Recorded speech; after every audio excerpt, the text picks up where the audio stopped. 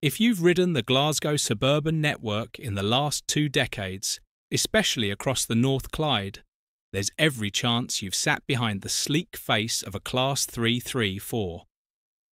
Built by Alstom as part of the Coradia Juniper family, the 334s were ordered to modernise Strathclyde's electric services and replace the much loved but ageing Class 303 blue trains.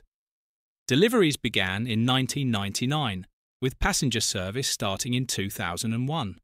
Early days weren't all plain sailing. Like their Juniper cousins, the 334 suffered teething troubles that delayed their full introduction.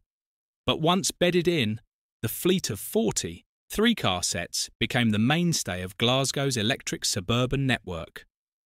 With a top speed of 90 miles an hour and power drawn from the overhead wires, they were perfectly suited to the stop start rhythm of commuter running.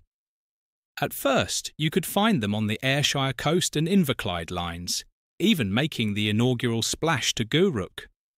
But as newer fleets arrived, particularly the Class 380s, the 334s settled into their long term home on the North Clyde and Argyle corridors.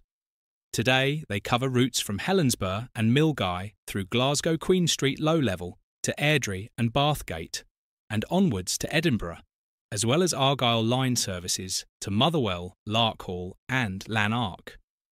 A major midlife upgrade between 2015 and 2017 brought full air conditioning, at seat power sockets, better lighting, improved CCTV, and more reliable doors and couplers.